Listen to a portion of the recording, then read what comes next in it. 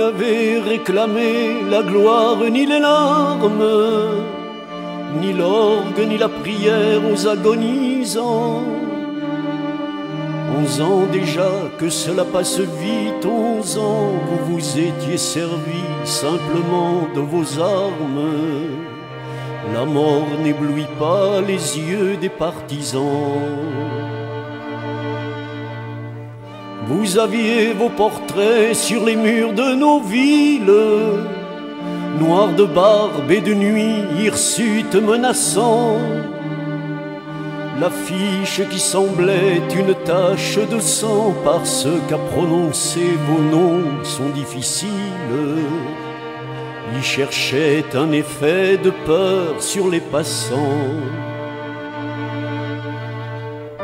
Nul ne semblait vous voir français de préférence. Les gens allaient sans yeux pour vous le jour durant.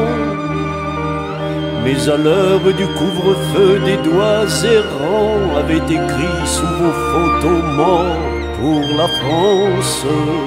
Et les mornes matins en étaient différents.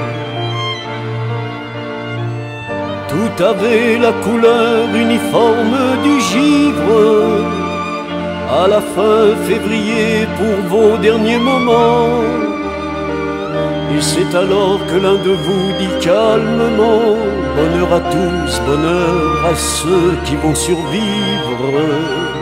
Je meurs sans haine en moi pour le peuple allemand.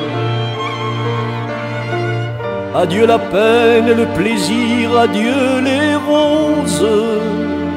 Adieu la vie, adieu la lumière et le vent.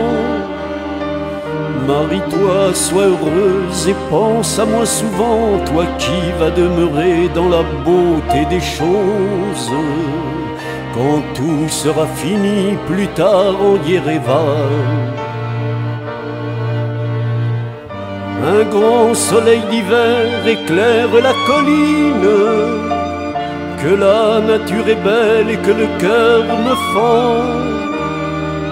La justice viendra sur nos pas triomphants, ma mélinée, oh mon amour, mon orpheline, et je te dis de vivre et d'avoir un enfant.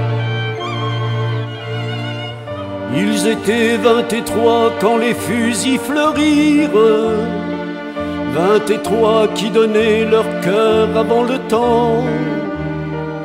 Vingt et trois étrangers, nos frères pourtant, vingt et trois amoureux de vivre à en mourir.